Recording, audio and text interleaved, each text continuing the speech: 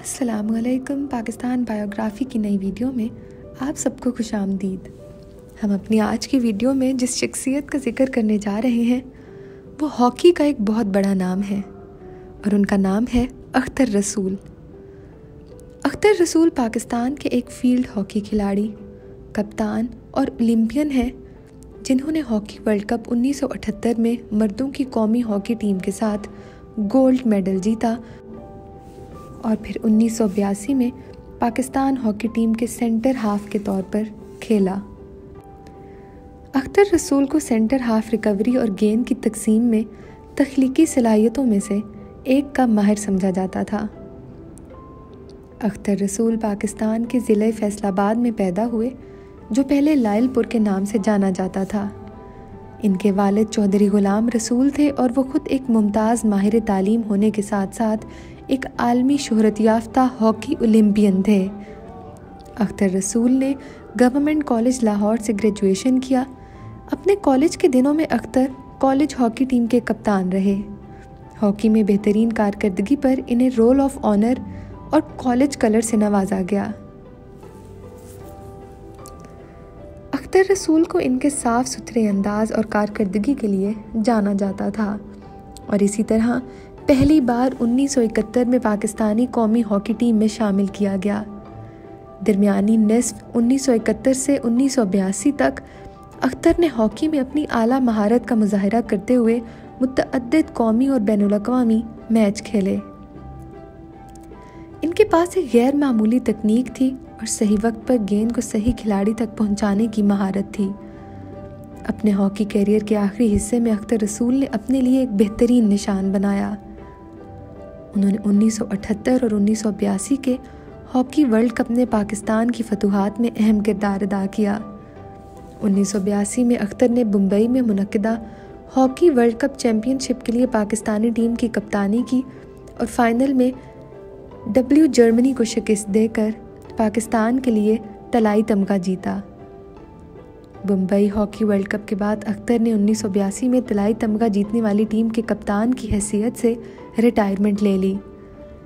इस वक्त तक इन्हें वाहिद खिलाड़ी होने का एजाज़ हासिल था, जिसने चार वर्ल्ड कप खेले थे।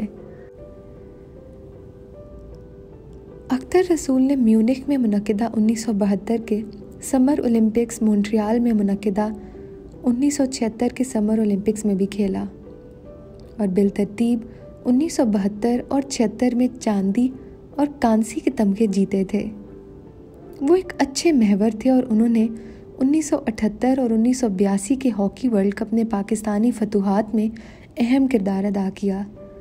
इन उन्नीस सौ तिरासी में हकूमत पाकिस्तान की तरफ़ से आला तरीन civil award, pride of performance से भी नवाजा गया।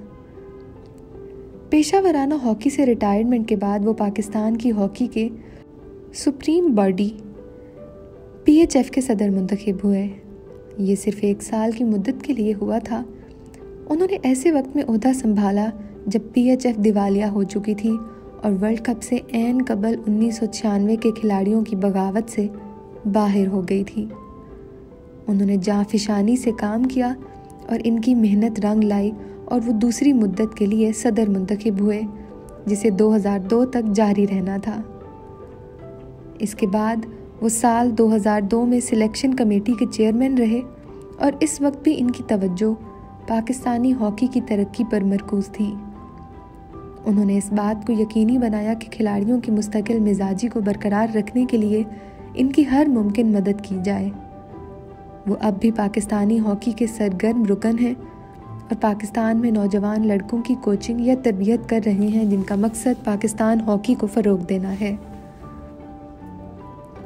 अख्तर रसूल 2013 में पाकिस्तान हॉकी फेडरेशन के बला मुकाबला सदर मुंतखब हुए थे, लेकिन इस बार तो के मुताबिक कारकर्दगी का मुजाहरा नहीं कर सके। पाकिस्तान ने बेल्जियम में मनदा ओलंपिक्स के लिए क्वालिफाइंग इवेंट में आठवीं पोजीशन हासिल की थी और इसके नतीजे में वो 2016 के ओलंपिक गेम्स के लिए क्वालिफाई करने में नाकाम रहा था। ये खेल की तारीख में पहली बार था कि पाकिस्तान ओलंपिक्स में किसी जगह से महरूम रहा। अख्तर रसूल ने उन्नीस सौ बयासी में मुंबई में हॉकी वर्ल्ड कप जीतने के बाद फ़ाल हॉकी से रिटायरमेंट ले ली। वो पाकिस्तानी हॉकी को फ़रोग देने के बुनियादी मकसद के साथ पाकिस्तान में नौजवान खिलाड़ियों को कोचिंग या तरबियत देकर हॉकी में सरगर्म रहे। अख्तर रसूल पंजाब स्पोर्ट्स बोर्ड के सदर के अहदों पर फायज रहे। सदर पंजाब हॉकी एसोसिएशन भी रहे और सदर पंजाब एथलेटिक्स एसोसिएशन भी रहे। उन्नीस सौ सतानवे में वो एक साल की मुद्दत के लिए पाकिस्तान हॉकी फेडरेशन, पाकिस्तान की हॉकी की सुप्रीम बॉडी के चीफ मुंतखब हुए। उन्होंने एक ऐसे वक्त में बागडोर संभाली थी जब पीएचएफ तकरीबन दिवालिया हो चुकी थी। वो 2002 तक दूसरी मुद्दत के लिए पीएचएफ के चीफ मुंतखब हुए, लेकिन ज़ाती वजूहत की बिना पर उन्नीस सौ निन्यानवे में इस्तीफ़ा दे दिया। इसके बाद वो 2002 में सिलेक्शन कमेटी के चेयरमैन रहे। उन्नीस सौ तिरासी में अख्तर को पाकिस्तानी हॉकी में इनकी खिदमत के अतराफ़ में, जिसका ज़िक्र हम आपसे पहले भी कर चुके हैं प्राइड ऑफ़ परफॉर्मेंस से नवाजा गया था, जो पाकिस्तानी हुकूमत की तरफ़ से आला तरीन सिविल अवार्ड था। फ़ाल हॉकी से रिटायरमेंट के बाद अख्तर रसूल ने उन्नीस सौ पचासी में सियासत में कदम रखा। उन्होंने आज़ाद हैसियत से इलेक्शन लड़ा और पंजाब असम्बली के एम पी मंतखब हुए। उन्नीस सौ छियासी में वो पंजाब के एक्साइज एंड टैक्सेशन के वज़ीर बने। उन्नीस सौ अठासी में वो पी पी एक सौ अट्ठाईस इचरा से इस्लामी जमहूरी इतिहाद के टिकट पर मुंतखब हुए और पंजाब के वज़ीर खेल बन गए। 1990 में उन्होंने दोबारा इस्लामी जमहूरी इतिहाद पार्टी के टिकट पर इलेक्शन लड़ा और बड़े मार्जिन से एम एल ए मुंतखब हुए। उन्नीस सौ तिरानवे में उन्होंने मुस्लिम लीग के टिकट पर पार्लियामेंट की नशस्त पर इलेक्शन लड़ा। और एम पी ए रुकन सूबाई असम्बली बन गए। इनके एजाज़ में La Grande Chalet event complex के शानदार हॉल में एक बड़े इज्तम का अहतमाम किया गया था। इसके मालिक राना इमदाद, जो कि खुद सबक कौमी हॉकी खिलाड़ी हैं, उन्होंने तकरीब के लिए हॉल मुफ़्त फराहम किया था। इस तकरीब में इनके अहल खाना पहली बार मौजूद थे। पहले की तरह हॉकी के कई सबक स्टार्स और शायकीन ने शिरकत की। जो लोग स्टेज पर आए और अख्तर की शानदार खेल की महारत और पाकिस्तान की शान में शराकत को याद किया। इनमें डॉक्टर तारिक अज़ीज़, कासिम ज़िया, जो कि उन्नीस सौ बयासी में गोल्ड मेडलिस्ट थे और उन्नीस सौ चौरासी के ओलंपिक्स में भी शामिल थे। पीएचएफ के सबक सेक्रेटरी जनरल मुदसर असगर, जो कि उन्नीस सौ बहत्तर और उन्नीस सौ छिहत्तर के ओलंपिक मेडलिस्ट थे और पीएचएफ के मौजूदा सेक्रेटरी जनरल मोहम्मद आसिफ बाजवा शामिल थे। इस तकरीब में शानदार इशाइया के बाद मेजर पीरजादा के छोटे भाई सलमान पीरजादा ने अपनी सुरीली आवाज़ में गानों से महफिल को महजूज किया।